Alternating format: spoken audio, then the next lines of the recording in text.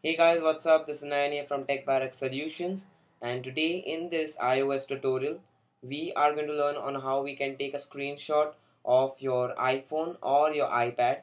So to do that you need to press the home button that's this button and the power button together and it's very simple. So just press them together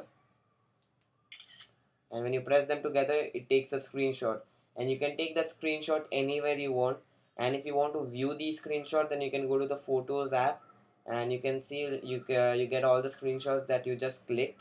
So that's a screenshot and that's basically how you can do it on your iphone and ipad. So that's basically it with this tutorial guys. I hope you enjoyed it. Please rate comment subscribe and visit techbarrack.com